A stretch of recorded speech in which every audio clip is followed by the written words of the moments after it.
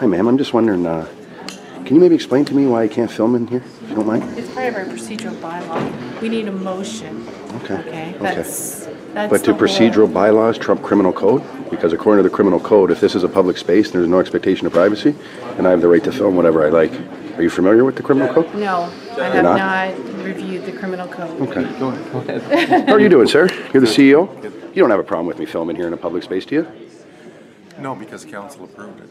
Well, it's not whether council approves, sir. It's whether it's against the criminal code. And clearly, the member of the public has the right to film in a public space, does he not? I think when I was in Fort Erie, and you can ask.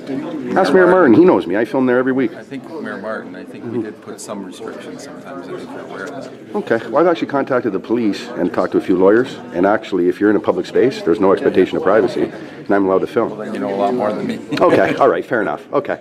All right, ma'am. Thank you very much. Okay.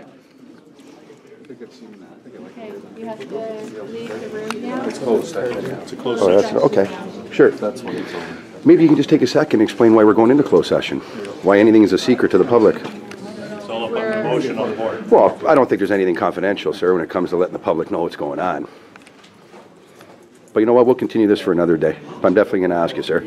I think in a free country, nothing's a secret. I'd like you to. And um, that's fine. I just I got a second though. I just want to let you know that the general public deserves to know what you guys are doing, and the fact that you want to do things in secret, it makes you look like there might be money changing hands. I mean, who knows? Why do things that are secret, right? But uh, what's your name, sir? Harry. Harry. It's nice to meet you, Harry. And I'll see you more around here. And your name is, ma'am? Janet. Shan, Janet. All right. Well, you have a Merry Christmas, and I'll You see you when. I'm back. Okay, thank you. Thanks.